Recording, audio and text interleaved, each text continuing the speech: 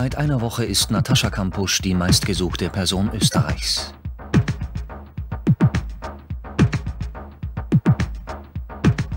Tagelang wurde rund um die Uhr nach ihr gesucht. Sogar Hubschrauber waren im Einsatz.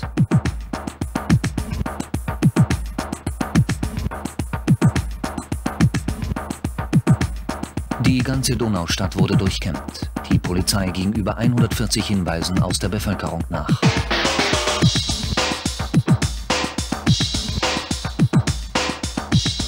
Doch Natascha bleibt spurlos verschwunden. Die Eltern sind zerrissen zwischen Resignation und Hoffnung. Ich habe gehofft, dass wir es wirklich irgendwo finden. Aber wie dann die, die 48 Stunden abgelaufen sind, habe ich gesagt, so lange kann sie nicht rutzen und irgendwo in einer Ecke sein. Ja? Da muss sie irgendwann einmal hervorkommen. Dann haben wir schon gedacht, da kann nur was passiert sein. Aber komischerweise, wie dann die 48 Stunden vorbei waren und wie das immer länger dauert, immer länger, immer länger, wird meine Hoffnung immer größer, dass wir sie doch noch lebend finden.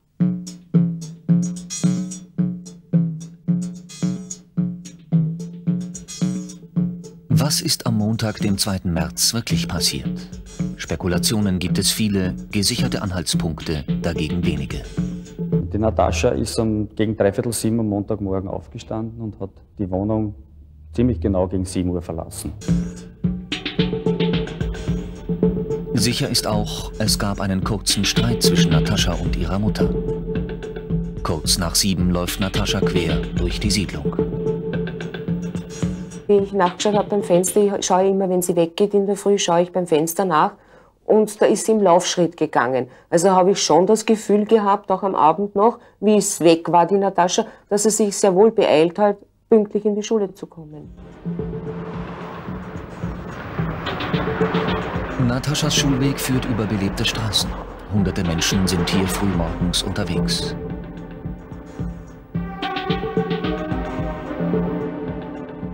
Die Natascha hat ihren üblichen Schulweg eingeschlagen und äh, nach, der, nach Überqueren der Wagramer Straße bei dort einem befindlichen Kreisverkehr wurde sie nur wenige hundert Meter von der Wohnung entfernt das letzte Mal gesehen. Eine Woche später, der Vater wartet rund um die Uhr auf neue Hinweise. Hoch. Seit der Trennung von Frau Sirny wohnt Ludwig Koch bei seiner Mutter. Die Küche ist zum Krisenzentrum geworden. Würden Sie bitte im Sicherheitsbüro die Nummer 313 46 36 131. Ich bitte Sie darum. Ja, danke sehr. Herr Koch hält ständigen Kontakt danke zu den sehr. Behörden. Alle paar Minuten Danke. läutet das Telefon. Noch hat kein Anruf zu einer konkreten Spur geführt. Doch der Vater will nichts unversucht lassen, um seine Natascha wiederzufinden. Ich mag mal sagen, seitdem ich weiß, dass weg ist. Und das, das Sorgen werden jeden, jeden Tag mehr. Ich meine, das ist mit Sorgen gar nicht mehr, zum Ausdrücken. Ich kann mir nicht vorstellen, ja, dass sie irgendwo freiwillig eingestiegen ist zu jemandem. Da müsste irgendwer müsste, müsste sie gekannt haben. Das kann ich mir gekannt haben. Das kann ich mir nicht vorstellen. Und dann, ich habe mit, mit, mit der Polizei gesprochen und es ist nichts, es ist effektiv nichts gefunden worden und keine Fremdeinwirkung. Die Leute hätten ja das sehen, hätte, hätte irgendwer sehen müssen.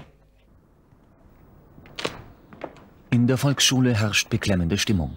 Man hat Angst um Natascha, aber auch um die anderen Kinder. Gibt es vielleicht doch einen Verbrecher, der hier sein Unwesen treibt? Gerüchte gibt es viele. Nataschas Lehrerin Susanne Bruneder steht jetzt unter Dauerstress. Sie ist ständig mit den Ängsten von Eltern und Kindern konfrontiert. Der leere Platz Nataschas irritiert alle. Zum Teil mitten aus dem Arbeiten heraus sagen die Kinder plötzlich, wir sind so traurig, die Natascha ist nicht da. Zum Teil werden sie sehr, sehr wild und ungestüm und dann sind sie wieder zurückgezogen und traurig. Das ist so schubweise. Meine Mama bringt mich in die Schule mit meiner Schwester. In Gesprächsrunden versucht die Lehrerin mit den Schülern das Verschwinden Nataschas aufzuarbeiten. Was haben eure Eltern überhaupt so gesagt? Meine Mama hat gesagt. Aber habt ihr mit euren Eltern über die Natascha gesprochen? Ja. ja. ja. Meine Mutter hofft, dass sie wieder gefunden ist und dass es ihr gut ist. Meine, meine, Mu meine Mutter glaubt, dass sie schon tot ist, weil so ein langes Kind so ein Kind kann so lang, so lang nicht wegbleiben. Weder den Schülern noch der Lehrerin geht Natascha aus dem Kopf. Dieses Bestreben bei mir, möglichst im Mittelpunkt zu stehen. Vielleicht, weil sie Schwierigkeit hatte, sonst im Mittelpunkt zu stehen oder Anerkennung oder Streichleinheiten zu bekommen, wenn sie die gebraucht hat. Und weil sie gewusst hat, dass sie das bei mir bekommt, das wissen die Kinder alle und wer Schwierigkeiten hat, kommt zu mir und muss mir auch nicht unbedingt was erzählen.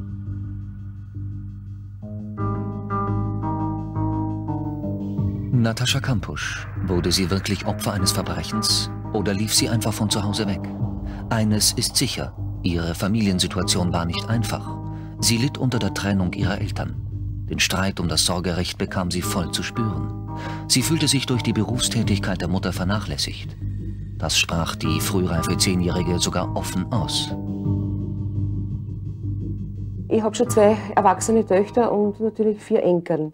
Und sie fühlt sich zurückgesetzt, wenn die Enkeln bei mir sind. Die sind sehr oft bei mir, sie schlafen bei mir, also oft. Wenn die Kinder fortgehen, sage ich, okay, kein Problem, das können sie mir vorbeibringen. Die Natascha hat eh, das gefällt ihr, wenn sie da sind. Aber nur wenn sie was anstellen und ich schimpf nicht, dann sagt sie, mit mir schimpfst, mit dir schimpfst mich, mit mich magst du nicht. Kann nur hoffen, dass das stimmt, was ich vermute. Und das ist, dass es wirklich einmal überdreht hat und, und, und, uns beiden zeigen hat wollen, so, so, so geht das nicht. Da muss sich irgendwer für Kind einstellen. Das ist, das ist meine Meinung. Sozusagen einen, einen Hinweis geben wollte, eine, eine Tat setzen wollte, dass wir also ich, bin der Meinung, ich meine, in einer Beziehung ist keiner schuldlos und warum soll das das Kind praktisch, ich meine, was das Höchste ist, warum soll das Kind darunter leiden? Eine Woche voll von Selbstvorwürfen und Schuldgefühlen liegt hinter Nataschas Familie. Frau Sirni versucht gemeinsam mit den Töchtern aus erster Ehe und den Schwiegersöhnen das Verschwinden des Kindes zu bewältigen. Wieder und wieder wird nach Hinweisen gesucht, die das Weglaufen erklären könnten. Manche sind mehr als deutlich, wie die Aussage der Eltern von Nataschas Freundin Daniela etwa. Die haben mich am Mittwoch in der Früh angerufen und haben mir das eben erzählt und haben gesagt, die Natascha hätte gesagt, sie würde von zu Hause weggehen, weil wenn Streitigkeiten sind, wird sie immer mit einbezogen.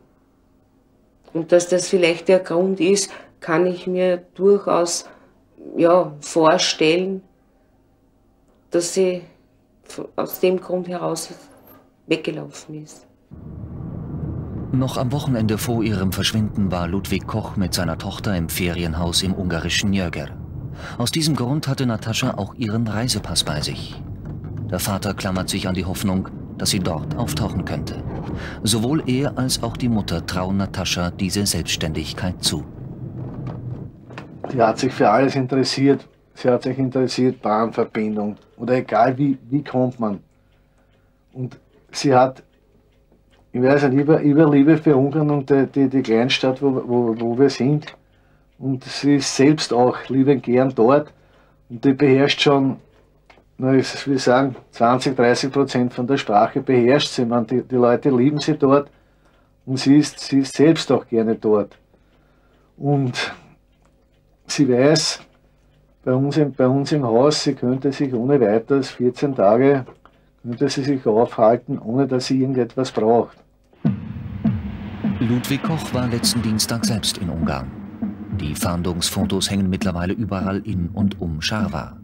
Die Suche des Vaters blieb erfolglos. Jetzt hat sich auch die ungarische Polizei eingeschaltet. Falls Natascha in Jöger oder Scharwa auftaucht, müsste sie jedem auffallen. Az Interpol március 5-én kapcsolt be hivatalos megkereséssel. Die Interpol hat sich am 5. März eingeschaltet. Damit haben wir ganz offiziell die Suche nach dem Mädchen begonnen. Wir waren aber schon am Tag vorher in Jöger bei den Nachbarn und haben uns im Haus des Vaters umgesehen. Wir haben die Bewohner des Dorfes, auch den Postboten und den Bürgermeister befragt. Aber bis jetzt gibt es auch hier keine Spur von Natascha.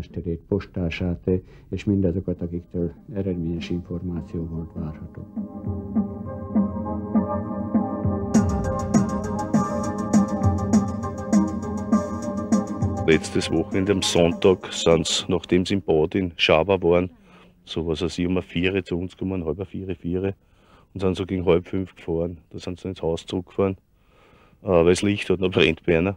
Und dann sind sie zurückgefahren und äh, das war das letzte Mal, dass wir es gesehen haben. Ich kenne sie. Sie war oft mit dem Vater bei mir. Sie ist sehr nett und freundlich. Wir vermissen sie und machen uns Sorgen um sie. Das ganze Dorf hofft, dass Natascha wieder gesund zurückkommt. Die Nachbarn in Jöger halten das Haus von Ludwig Koch unter ständiger Beobachtung. Vergangenen Freitag suchten österreichische Kriminalbeamte hier nach Spuren. Aber es bleibt dabei. Natascha ist hier nicht aufgetaucht. Nach einer Woche intensiver Ermittlungsarbeit gibt es über ihren Verbleib immer noch keine Anhaltspunkte. Es gibt Indizien für eine Abgängigkeit. Ganz einfach deshalb, wir haben keine Spur, nichts von der Natascha gefunden möglicherweise, wenn, wenn so ein Kind mit zehn Jahren abgängig ist, dass sie irgendwo doch einen Hilfeschrei setzt, einen Ruf, einen Anruf oder eine Botschaft. Das haben wir nicht. Und genauso stark sind die Indizien aber, dass es doch ein Verbrechen vorliegen könnte, denn es gilt, es gilt das Gleiche, das Gesagte. Wir haben keine Spur, keine Anhaltspunkte und auch das ist ungewöhnlich, dass wir vom Verschwinden der Natascha eigentlich keinen Ansatzpunkt haben. Das Warten auf ein Lebenszeichen der kleinen Natascha wird für die Eltern immer unerträglicher. Ihnen bleibt nur die Hoffnung.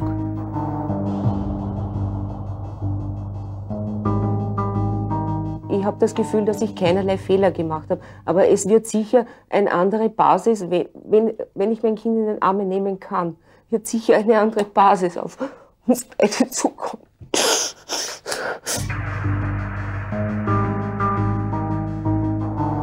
Liebe Natascha, ich, ich bitte dich um, um alles. Bitte, bitte, kommt, bitte komm zurück. Und egal, wenn, wenn du nicht kannst und egal wer ihr seid und ihr habt die Natascha, bitte, bitte gebt sie uns wieder und lasst, lasst sie zurückkehren.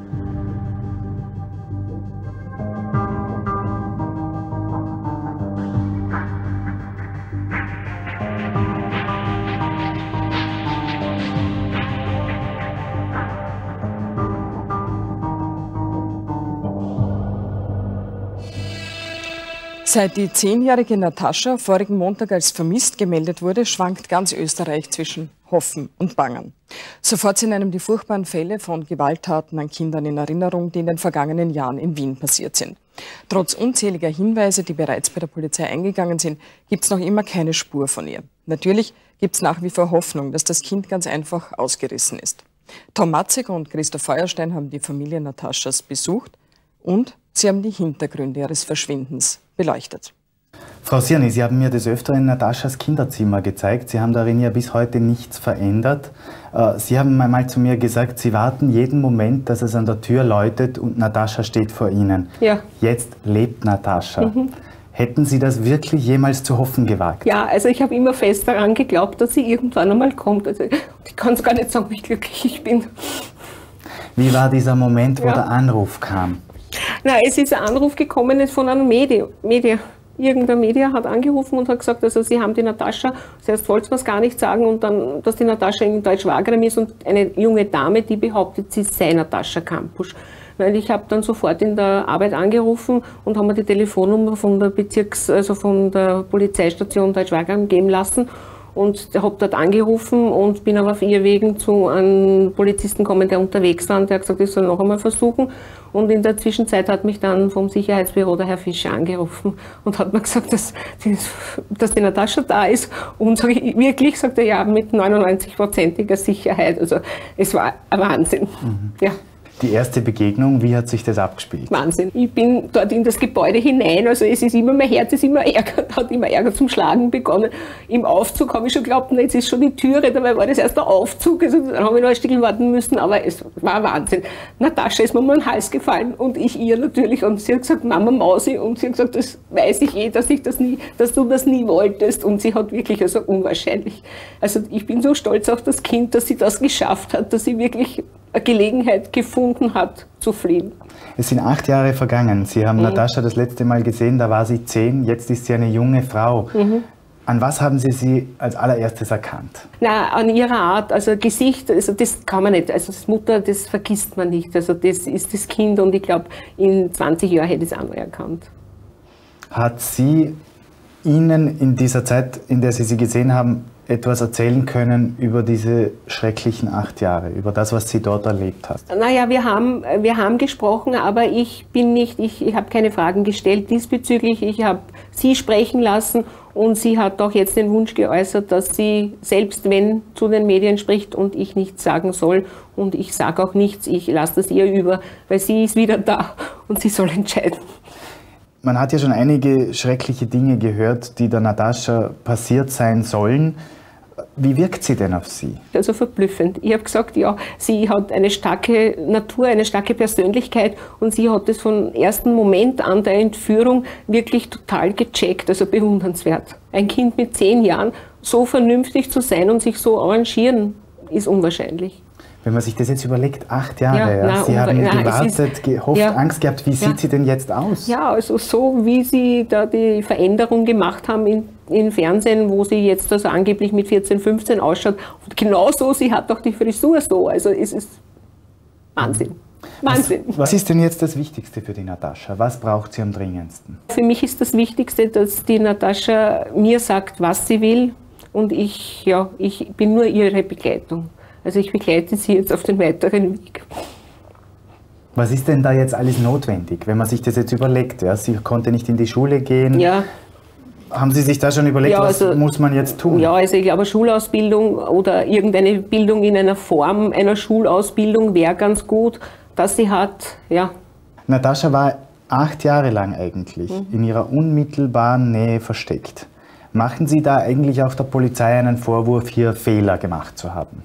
Naja, ich mache der Polizei, ich habe der Polizei, ich habe, ja, ich mache jetzt keinen, es ist achteinhalb Jahre her und ich habe damals, weil es wurde ja gesagt, also ein Mädchen hat sie gesehen, wie sie in einen weißen Bus gezerrt wurde und die Polizei ist erst nach 14 Tagen nachgegangen.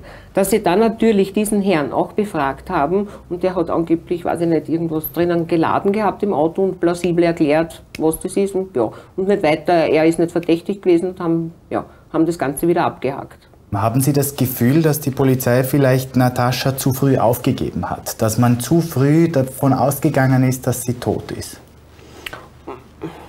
Ich kann das, ich kann das eigentlich jetzt gar nicht mehr, so nachvollziehen. Damals ist man nur, das äh, habe ich das nicht verstanden, dass es jetzt eingestellt wird und eigentlich nur auf Zufall sie gehen, wenn irgendwas reinkommt, gehen sie der Sache nach.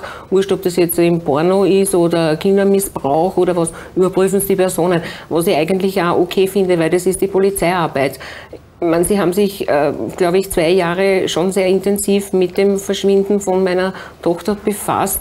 Ja, aber für mich war es natürlich zu wenig, wenn Sie sich, glaube ich, drei Jahre damit befasst hätten oder acht Jahre lang. Ja. Also hätte ich auch immer das Gefühl, weil ja, ich habe es nicht verstanden, dass man nichts findet und gar keinen Anhaltspunkt hat.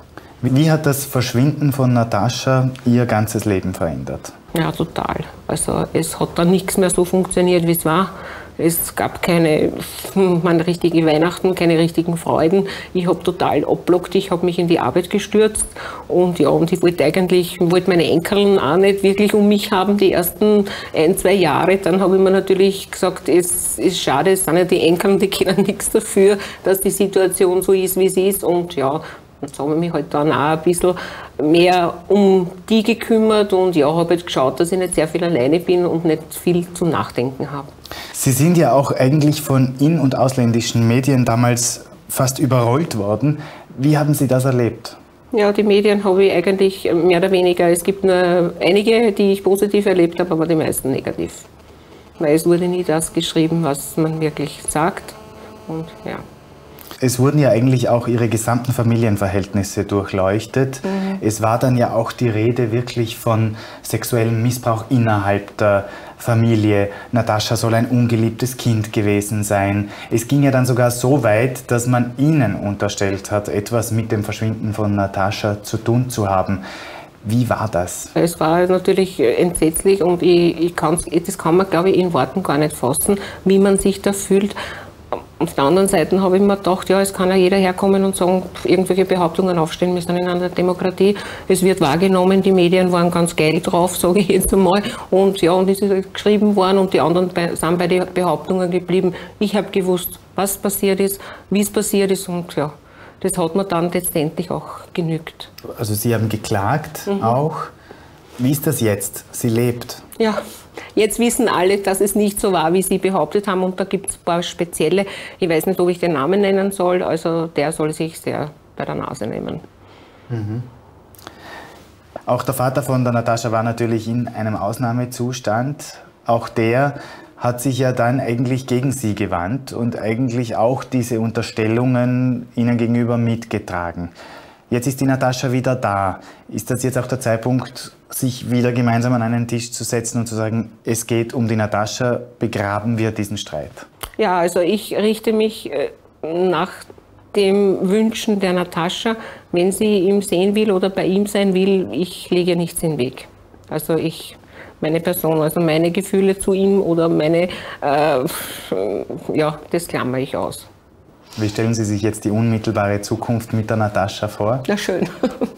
Naja, jetzt braucht sie mal eine Schulausbildung, sie braucht komplettes Gewand, sie braucht es, sie muss ja komplett, also die hat ja gar nichts. Es ist, jetzt ist ja, sie hat jetzt gekriegt von der Schwester, die ist einkaufen gegangen, die hat ja äh, mal jetzt das Notwendigste besorgt, aber sie braucht ja alles, das kann man sich ja gar nicht vorstellen. Das ist ja wie eine Geburt und da muss alles her, also von, von Glänzen vom Schuh bis zum Zahnbürstel, also alles. Frau Sierni, ich danke Ihnen für das Gespräch. Ich wünsche Ihnen und vor allem natürlich der Natascha alles Gute. Danke.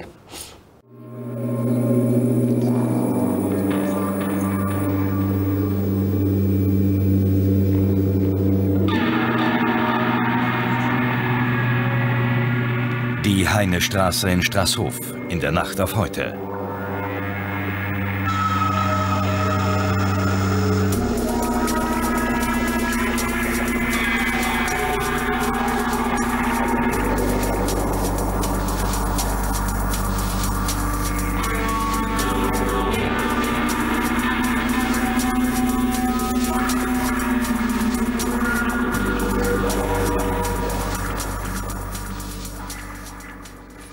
Drückersch, Sie sind ein Nachbar hier. Ja.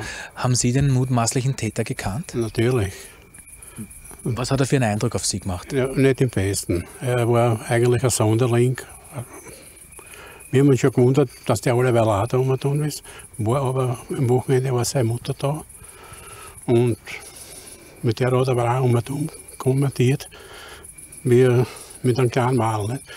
Und wir haben uns schon gewundert, weil ein paar Mal haben wir gesehen, also haben wir gehört, eine junge Stimme. Und hat meine Frau gesagt, das ist aber nicht seine Mutter, mit der er was. Und gesagt, dann wird er vielleicht eine Freundin haben. Wir haben das weiter nicht beachtet. Wenn Sie sagen, Sie haben eine Stimme gehört, eine junge Stimme, dann glauben Sie, war das die Natascha? Ich, das kann ich nicht sagen. Das, wir haben so gesagt, ich habe zu meiner Frau gesagt, vielleicht hat er eine Freundin. Nicht? Hm.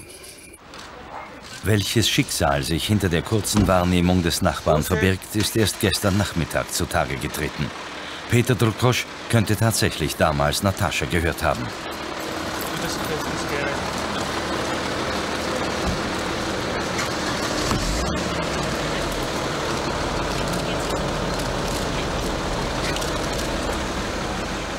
Was Natascha in den letzten acht Jahren durchlebt hat, hat sie gestern einer jungen Polizistin erzählt. Sie war der erste Mensch, dem sich Natascha seit ihrer Entführung anvertrauen konnte. Frau Waldberger, Sie waren gestern da, als die Natascha hereingebracht worden ist. Können Sie uns ein bisschen die Situation schildern? Ja, gestern ungefähr um halb zwei Nachmittag bin ich hier in den Raum gesessen. Die zwei Kollegen, die was die Natascha abgeholt haben von dem Vorfallsort, wo sie aufgefunden wurde, sind mit der Natascha dann in den Journaldienstraum hereingekommen. Die, die Natascha war mit einer Decke überhüllt, weil sie nicht gesehen werden wollte. Sie ist dann die Tür dann hereingekommen, ich habe sie dann hier in Empfang genommen, bin mit ihr sofort dann in das Nebenzimmer gegangen, dass sie dann keiner sieht, weil sie da Angst gehabt hat vor den Kollegen. Bin dann mit ihr dann herübergegangen, weiß nicht, wann sie mitkommen, sag sie noch. Wir haben uns dann da einer gesetzt ich bin gegenüber von der Natascha am Anfang gesessen. Ich habe sie, ja, hab sie hier Platz nehmen lassen. Natascha ist dann hier gesessen gegenüber von mir. Ich habe mir mal vorgestellt, dass ich die Sabine bin, sie ist die Natascha. Sie war ziemlich gesprächig, sie hat gezittert, sie war käseweiß eigentlich. Sie, war, sie hat nur ein Kleid angehabt, ein loses Kleid. Ich habe dann eine Jacke gebracht von mir, sie hat eine Gendarmerie-Jacke von mir anbekommen. Ja, sie hat mir gleich die Sache, die ganze Sache von Anfang an bis zum Schluss geschildert. Sie hat überhaupt keinen Scham, nichts gehabt. Sie hat angefangen von dem Tag der Entführung zu erzählen, wie das Ganze sich abgespielt hat, was sie für Gedanken gehabt hat, für Gefühle. Und was hat sie da erzählt? Dass sie vorher einen Streit mit ihrer Mutter gehabt hat, dass die Gedanken in ihrem Kopf herumgeschwirrt sind auf dem Schulweg, hat sie mir erzählt. Sie wollte die Straßenseite wechseln, hat es aber dann doch nicht gemacht, weil sie dachte, wird schon nichts passieren, so auf die Art. Das war eben nicht der Fall, ja. Sie hat den Mann gesehen im Vorhinein und sie wollte die Straßenseite wechseln, hat sie gesagt, ja. Dann ist sie doch weitergegangen und ja. Gestern früh ist die Zehnjährige wie jeden Tag kurz vor acht in die Schule gegangen. Dort kommt sie aber nie an. Nataschas Lehrerin vermutet, dass das Kind krank ist. Auch im Hort, wo Natascha immer den Nachmittag verbringt, fällt ihr Fehlen nicht weiter auf.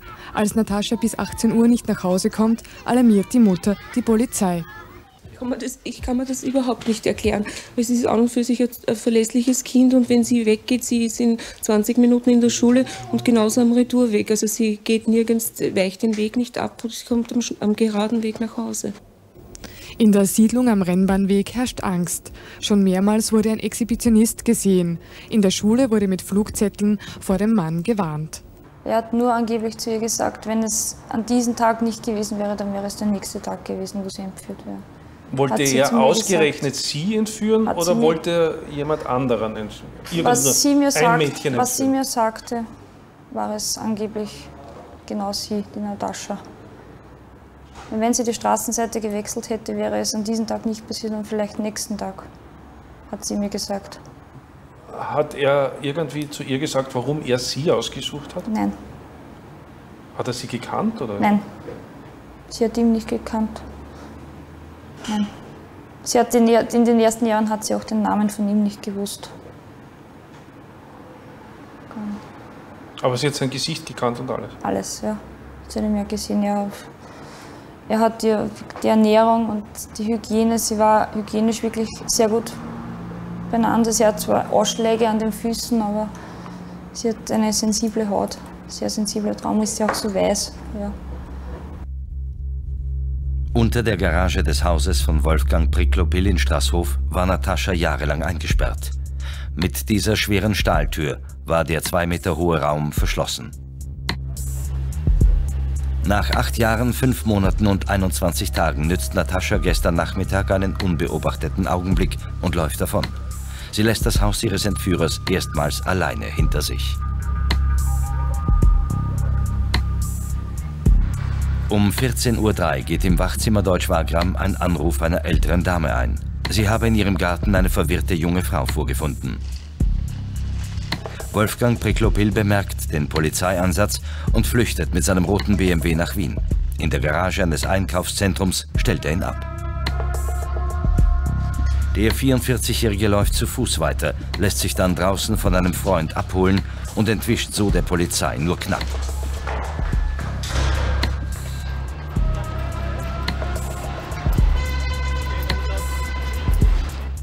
Wolfgang Priklopil erzählt seinem Freund, dass er angetrunken in eine Polizeikontrolle geraten sei und deshalb geflüchtet sei. Mittlerweile ist das Donauzentrum zur Gänze umstellt. Auch Suchhunde werden eingesetzt. Zur selben Zeit dringt eine Spezialeinheit der Polizei in die Wiener Wohnung der Mutter des Flüchtigen ein. Auf sie ist der BMW angemeldet, doch die Wohnung ist leer. Stundenlang wird jedes Auto kontrolliert, das aus der Garage des Einkaufszentrums herausfährt. Um 18.45 Uhr werden Phantombilder des Flüchtigen zu den Polizisten gebracht. Wenig später lässt die Spurensicherung das Auto abschleppen. Den Wagen hatte Wolfgang Priklopil von seinem Vater geerbt, der vor rund 20 Jahren an Krebs verstorben ist. Um 20.59 Uhr melden die ÖBB, dass sich nahe des Pratersterns ein Mann auf offener Strecke vor eine Schnellbahn geworfen habe. Bei der schwer verstümmelten Leiche wird der Schlüssel des BMW gefunden. Ein Freund identifiziert Wolfgang Priklopil anhand der Kleidung. Wir sind aus der Station äh, Praterstern rausgefahren. Kurz nach der Station hat es dann einen leichten Rucker gegeben und eine relativ zügige Bremsung. Es war aber keine Notbremsung, sondern ja, der Zug ist dann stehen geblieben. Und circa da bei den Masten äh, muss das gewesen sein, wo dann die Feuerwehr relativ lange unten gestanden ist und geschaut hat. Und eben die Durchsage war, wir haben einen äh, Selbstmörder. Haben Sie irgendwie vermutet, dass das äh, derjenige sein könnte, der eben der mutmaßliche Entführer von dieser Natascha ist? Oder, oder ist man auf die Idee nicht so schnell gekommen? Also ich habe mir das an schon gedacht, beziehungsweise eine Telefon zum Telefon schon gesagt, das ist sicher der. Aber im Zug selber war davon überhaupt kein Red. Natascha Kampusch hat in den mehr als acht Jahren, die sie in diesem Haus gefangen war, eine enge Beziehung zu ihrem Peiniger aufgebaut. Es war aber dann schon mehr, was eine Vaterperson für sie und er hatte wirklich alles unter Anführungszeichen ermöglicht am Anfang von hygienischen her. Sie war sehr rein, wirklich. Sie hat die Zähne geputzt und alles und auf das hat sie besonders, sie hat die Hände gewaschen und das war hygienisch, wirklich. Aber sie hat, sie hat irgendwie von einem Verbrecher, von ihrem Peiniger gesprochen? Ja, hat sie, ja. Hat sie. Hat sie über ihn irgendetwas gesagt? Ja, hat sie auch, ja. Zum Beispiel? Was können Sie Ja, sie hat einen Tagesablauf. Also sie ist in der Früh aufgestanden und dann haben sie gefrühstückt miteinander. Sie haben den ganzen Tag miteinander verbracht und das hat mir alles erzählt, den ganzen Tagesablauf. Und, und sie hat auch mitgeholfen im Haushalt, sie hat Gartenarbeit gemacht für ihn und, und alles. Ja. Hat sie ja. irgendwie erzählt, warum er sie festgehalten hat? Nein, das hat das sie Motiv mir, war? Nein, das hat sie mir nicht erzählt, nein. Haben Sie das Gefühl, dass Natascha ein Missbrauchsopfer ist, dass hier auch ein sexueller Missbrauch äh, stattgefunden hat? Meines Ansichts ja. Wird ihr aber nicht klar werden noch. Es ist ihr nicht klar. Nein, sie hat das alles freiwillig gemacht, immer hat sie gesagt. Und ja. Ihr wurde gedroht, wenn sie flüchten würde, dass ihr was passieren wird, ihrer Familie. Dadurch hat sie wahrscheinlich auch keinen Fluchtversuch unternommen am Anfang. Herr Koch, wir sind unzählige Male genau an diesem Tisch gesessen und es war eigentlich immer fürchterlich traurig. Jetzt ist Natascha wirklich zurück. Wie geht's Ihnen? Kann das, kann das nicht ausdrücken. Ich meine, genau auf diesem Platz war man so oft traurig und dass, dass, dass sowas gibt. Ich habe nicht geglaubt, dass ich sowas noch erleben werde. Sie haben acht Jahre lang eigentlich gesagt, auch in vielen Gesprächen mit mir, dass nur die Hoffnung sie am Leben hält. So im Laufe der Jahre haben eigentlich viele Menschen sie deswegen schon belächelt. Der glaubt immer noch, die Natascha ist am Leben. Mein Gott, das kann doch gar nicht sein. Sie haben nicht aufgegeben. Wie ist dieser Moment jetzt?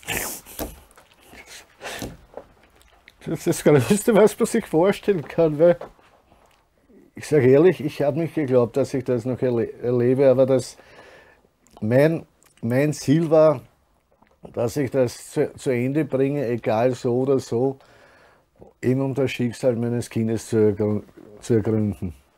Was hat sie Ihnen denn erzählt, als sie sie gesehen hat? Das erste Mal. Wie war so das Gespräch?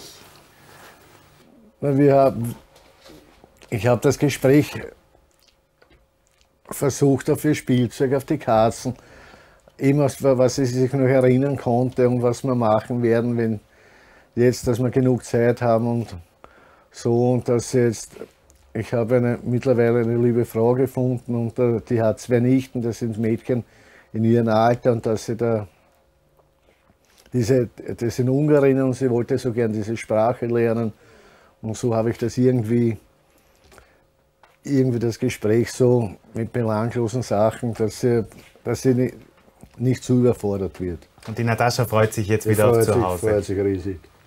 Sie hat sehr viel Radio gehört. Sie hat gesagt, sie hat den ganzen Tag nur Radio gehört. Sie hat die ganze Bildung, man kann sich das nicht vorstellen, die Frau ist gebildet. Für mich ist eine hochintelligente Frau geworden. Sie hat einen Wortschatz. Das ist unglaublich. Sie hat nur durch Radio hören. Er hat ja Filme aufgenommen und die dann vorgespielt wieder auf dem Videorekorder. Und Sie hat Bücher bekommen zum Lesen, Schulbücher auch, er hat sie geschult. Ja. ist unglaublich, wenn man gedacht, mit zehn Jahren und sie hat keine Hauptschulausbildung, nichts und blitzgescheit für mich. Sie haben gesagt, Sie haben irgendwie ein Freundschaftsverhältnis zu ihr ja. aufgebaut. Äh, wie ist Ihnen das gelungen? Ja, am Anfang, indem ich, sie hatte ja nur ein Kleid an, so ein Trägerkleid, und ich habe ihr meine Jacke gegeben. Dann hat sie meine Haare bewundert, meinen Schmuck, und sie hat das alles nicht gehabt in den acht Jahren. Sie, ich habe immer gesagt, er hat kein Geld dazu. Und irgendwann wird er einen Schmuck kaufen. Aber sie hat das alles nicht gehabt, und dann habe ich ihr meine Uhr gegeben. Was heißt geschenkt, oder wie? Geschenkt, ja. Sie wollte ihn gut zureden. Sie hat das immer wieder versucht. Was gut zureden? Dass er sie freilässt? Oder? Ja, dass er sie freilässt. Sie will eine Familie, eine eigene haben. Sie will Kinder haben und sie will die Freiheit. Ja. Wenn Sie jetzt zurückdenken, dass das Mädchen, die junge Frau dann später schon hier jahrelang äh, gelebt hat, was denken Sie? Man, man kann sich das eigentlich gar nicht vorstellen, weil man sie war ja zehn Jahre das, oder acht Jahre war es da. Man kann sich nicht vorstellen, dass er in einem Kölner Lokal acht Jahre lang wer eingesperrt ist, ohne dass das einmal ein Fluchtversuch oder was. Weil wenn's, es hat ja geheißen, da soll es Ding gewesen sein. Wenn die laut geschrien hätten, man hätte ja gehört. Ne? Doch niemand von den Nachbarn hat etwas gehört oder gesehen in all den Jahren, in denen Natascha Kampusch vom zehnjährigen Kind zur 18-jährigen Frau geworden ist.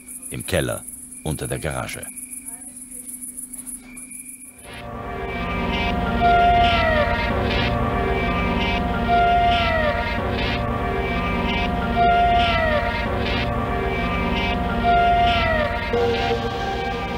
Natascha ist am Montag früh auf dem Weg zur Volksschule verschwunden. Die Polizei hat bereits das gesamte Gelände des Rennbahnwegs durchkämmt. Bitte notieren Sie alle Örtlichkeiten, die Sie durchsucht haben. Wir tappen wirklich im Dunkeln, das muss man offen einbekennen. Ne?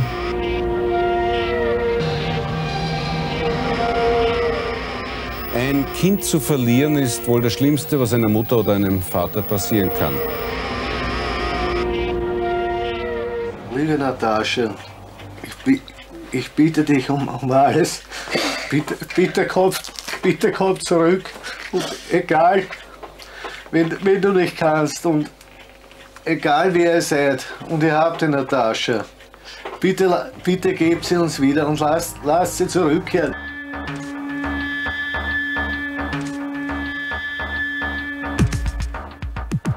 Das spurlose Verschwinden Nataschas löst die größte Polizeisuchaktion der Zweiten Republik aus. Alle verfügbaren Einheiten sind im Einsatz. Hunderten Hinweisen aus der Bevölkerung wird nachgegangen. Die meisten davon führen ins Nichts. In den ersten Tagen scheint vom Weglaufen bis zu einer Entführung alles im Bereich des Möglichen zu sein.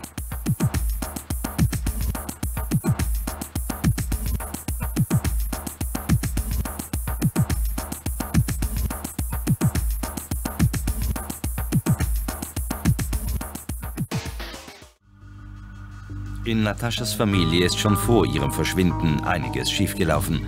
Das Mädchen hat unter den Streitereien der geschiedenen Eltern gelitten. Nicht nur einmal soll sie erwähnt haben, dass sie am liebsten davonlaufen möchte. Die Eltern bestätigen in ihrem ersten Thema-Interview wenige Tage nach Nataschas Verschwinden die familiären Probleme.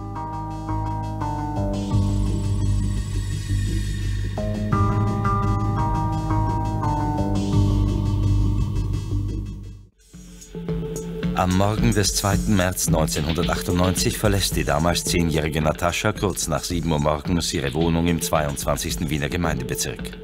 Nach einem Streit mit der Mutter macht sie sich auf den Weg zur Schule. Doch dort kommt sie nie an. Das minutiös erstellte Zeitwegdiagramm und der Hinweis einer zwölfjährigen Schulkameradin, Natascha wäre von einem weißen Kastenwagen mitgenommen worden, waren bis zum heutigen Tag die einzigen konkreten Ermittlungsansätze für die Polizei. Der Hinweis mit dem weißen Kombi hat für uns derzeit Priorität bei den Erhebungen. Es gibt aus der Aussage dieses zwölfjährigen Mädchens äh, bestimmte Indizien, Anhaltspunkte dafür, dass an dieser Sache doch etwas dran ist. Und wir glauben schon, dass diese Wahrnehmung des weißen Kleinbusses mit dem Verschwinden der Natascha zu tun hat. Im Zuge dieser Fahndung werden mehr als 1000 Besitzer eines weißen Kastenwagens überprüft. Darunter der mutmaßliche Täter Wolfgang P. Er wird im April 1998 von der Polizei befragt. Der Tatverdächtige gibt an, er benötige das Fahrzeug für den Transport von Bauschutt. Weil keine weiteren Verdachtsmomente bestehen, wird auch keine Hausdurchsuchung durchgeführt. Sie mal die Telefonnummer bitte. Die weiß ich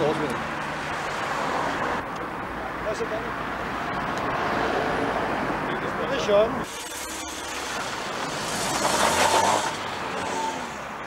Die Kriminalbeamten gehen jedem Hinweis nach. Einige führen die Polizei sogar in zwei Solarien, wo die Zehnjährige gesehen worden sein soll. Doch auch diese Spur bringt die Ermittler nicht weiter.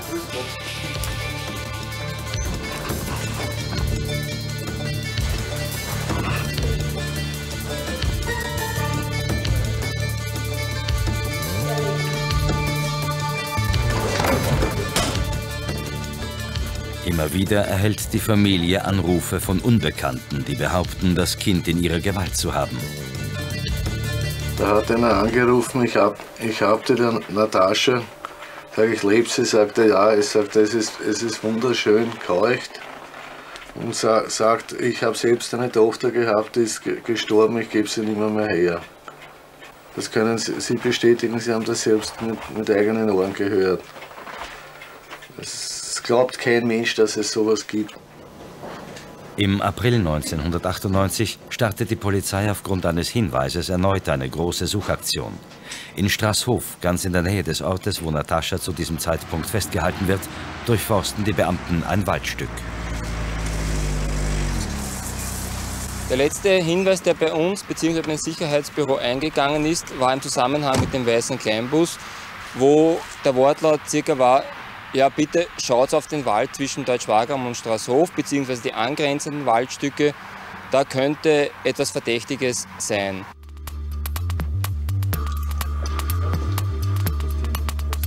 ...2001 geht Thema der Frage nach, wie Natascha als Teenager aussehen könnte. Von der ORF-Grafik aus werden Fotos von Natascha und Jugendbilder ihrer Eltern an die Polizeihochschule Schwenningen in Baden-Württemberg geschickt. Dort kann mittels eines modernen Verfahrens die Veränderung von Nataschas Gesichtszügen dargestellt werden. Die am Computer entstandenen Bilder werden dann von der Polizei unter anderem dafür verwendet, um sie mit Bildern auf Kinderpornoseiten im Internet vergleichen zu können.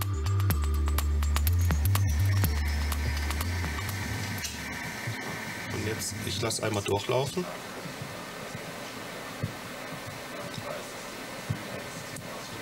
So, und jetzt ist da diese zurück. Dann nehmen wir dieses äh, letzte, neueste Foto, das die Familie von diesem Kind noch hat und versuchen dann auch noch Fotos der biologischen Eltern, also der wirklichen Eltern zu bekommen im Alter von 10. Und jetzt stellen wir uns vor, das Kind ist fünf Jahre vermisst, ist vielleicht noch am Leben, wäre jetzt 15. Dann brauchen wir auch noch Fotos der biologischen Eltern, Vater und Mutter im Alter von 15. Und aus diesen vier, beziehungsweise plus das Bild des äh, Kindes zum Zeitpunkt des äh, Vermisstwerdens, entwickeln wir dann ein virtuelles Bild, wie das Kind mit 15 2018 aussehen würde. Genau so soll Natascha heute tatsächlich aussehen, bestätigt heute ihr Vater Ludwig Koch gegenüber Thema.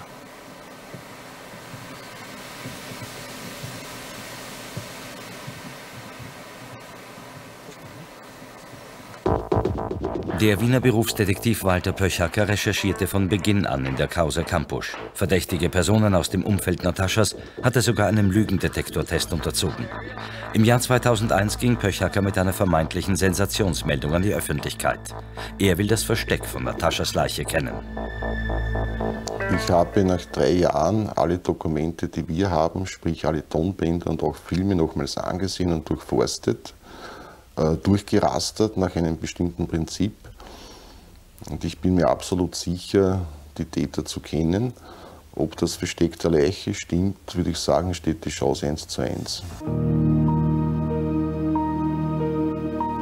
Wochenlang lässt Pöchacker auf eigene Kosten einen Teich in Niederösterreich bewachen, in dem er Nataschas Leiche vermutet.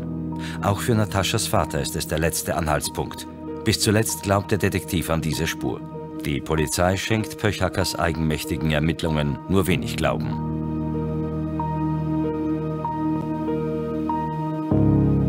Ich meine, dass wir wirklich hier so viel getan haben wie in vielen anderen Fällen nie von uns äh, abgefordert wurde und auch noch nie geleistet wurde. Die Krönung, dass wir das Mädchen haben, ist uns nicht gelungen. Und damit bleibt natürlich immer die Wehmut bei den Eltern und schließlich auch äh, die Frustration, dass die Polizei heute halt hier versagt hat.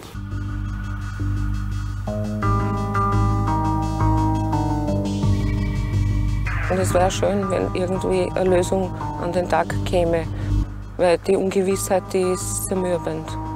Jedes Mal, wenn ich gehe, ins Eisgeschäft oder McDonald's oder irgendwo hin und sehe die, sehe die, sehe die, sehe die Kinder oder die jungen Mädchen, so die, die halbwüchsigen, so eine, und da siehst du irgendein Mädel und so einer, muss mir umdrehen und, und davonlaufen und man denkt, okay, der hat eine Tasche heute ausschauen.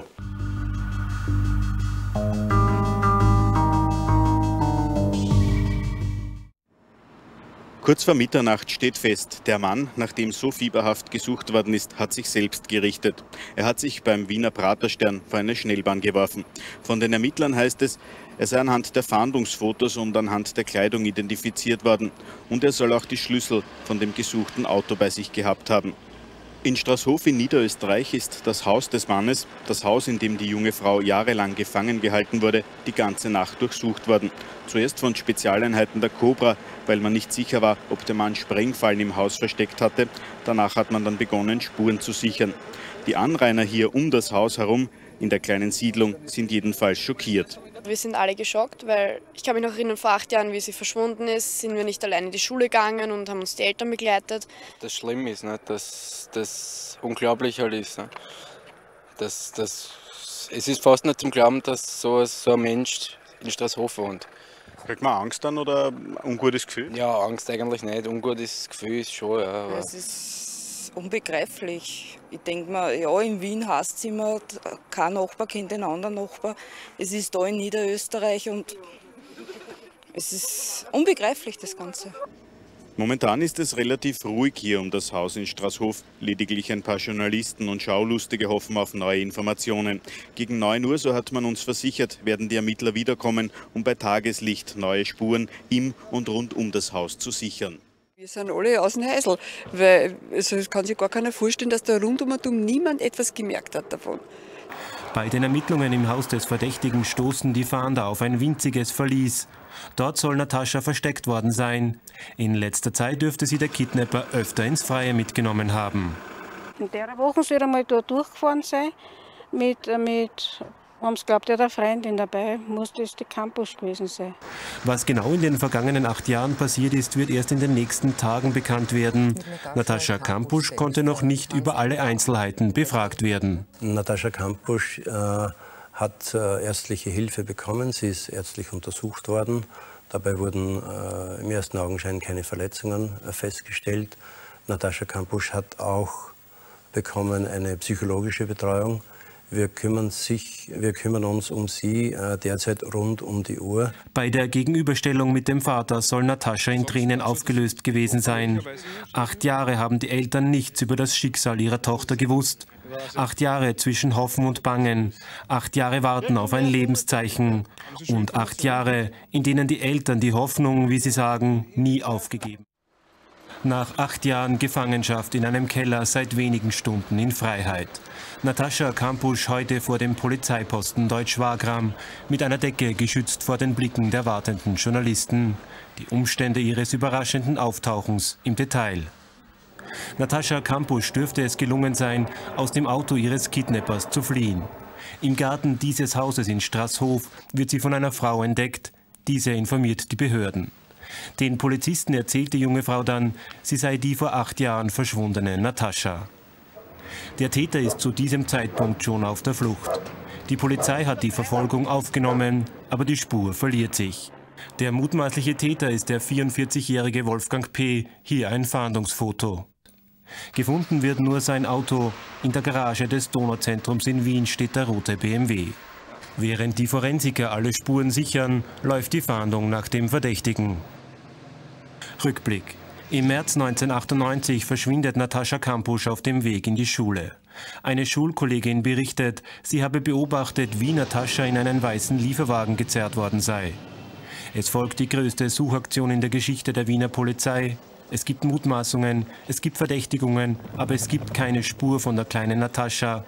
Acht Jahre lang bis heute. Die Nachbarn des Verdächtigen in Straßhof sind von den Ereignissen überrascht. Unauffällig soll der Nachrichtentechniker gewesen sein. Ich kenne den Burm schon, da war ein ganz junger Bub. Ja? ja. Anständige Leute waren das. Die Großeltern kenne ich, die Eltern kenne ich. Ja. Also ich kann da nichts Negatives über den sagen.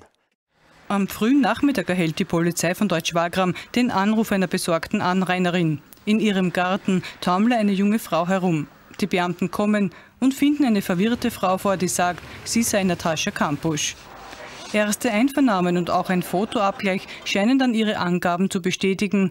Zusätzlich wird ein DNA-Test gemacht. Es hat mehrere Gegenüberstellungen, Agnostierungen gegeben durch Verwandte und die sagen, es ist Natascha Kampusch. Die junge Frau gibt an, acht Jahre lang in einem Keller eines Einfamilienhauses in Straßhof gefangen gewesen zu sein.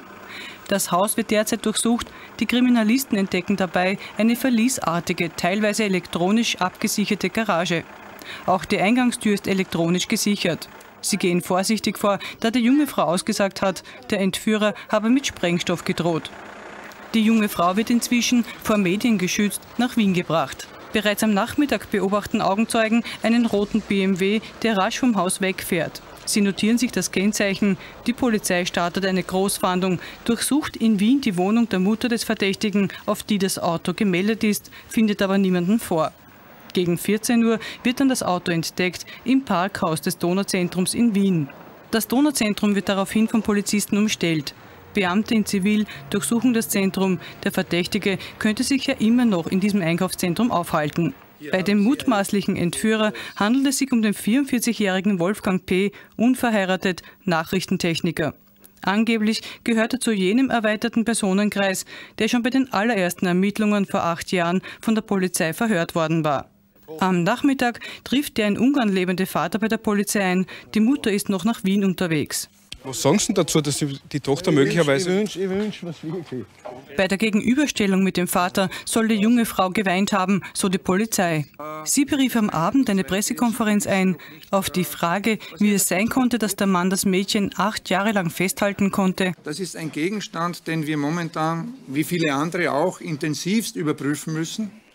Äh, nicht nur, dass wir das Mädchen zurzeit noch nicht befragen können, man muss sich ja das vorstellen, das jetzt wieder nach langen Jahren in einer Öffentlichkeit, die bis jetzt nicht zugänglich war.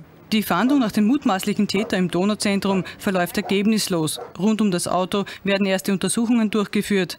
Genauere Erkenntnisse über Fragen, wie oft die entführte Natascha Kampusch mit dem Wagen gefahren wurde, erwartet sich die Polizei von den genauen kriminaltechnischen Untersuchungen im Labor. Heute kurz nach 13 Uhr. Die Polizei von Deutsch-Wagram erhält den Anruf einer besorgten alten Frau.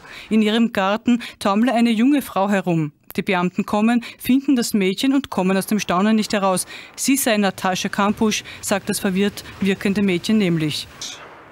Ja, wurde an und für sich gefangen gehalten in einem Kellerabteil.